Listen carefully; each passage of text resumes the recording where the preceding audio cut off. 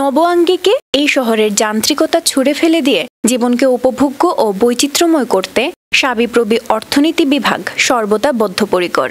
হেমন্তের স্বর্ণালী সন্ধ্যায় প্রায় দুই বছর বিরতির পর সাবিপ্রবি অর্থনীতি বিভাগ আয়োজন করল বিভাগীয় সাংস্কৃতিক আয়োজন ইকোএক্সিবিট টু পয়েন্ট অর্থনীতি সমিতির আয়োজনে বিশ্ববিদ্যালয়ের কেন্দ্রীয় মিলনায়তনে এই অনুষ্ঠানের আয়োজন করা হয়। তাসফিয়া হোক ও আরাফাত সিয়ামের সঞ্চালনা এবং অর্থনীতি বিভাগের বিভাগীয় প্রধান এবং অর্থনীতি সমিতির সভাপতি অধ্যাপক জহিরুদ্দিন আহমেদের সভাপতিত্বে অনুষ্ঠানে প্রধান অতিথি হিসেবে উপস্থিত ছিলেন বিশ্ববিদ্যালয়ের কোষাধ্যক্ষ অধ্যাপক ড মোহাম্মদ আনোয়ারুল ইসলাম।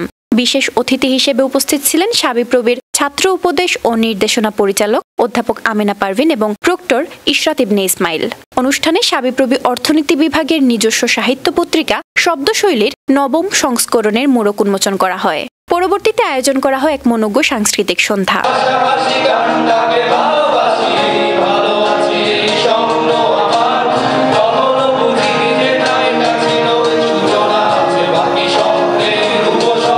এতে বিভাগের শিক্ষার্থীরা গান নৃত্য আবৃত্তি নাটক সহ বিভিন্ন পরিবেশনার মাধ্যমে মাতিয়ে রাখেন দর্শকদের।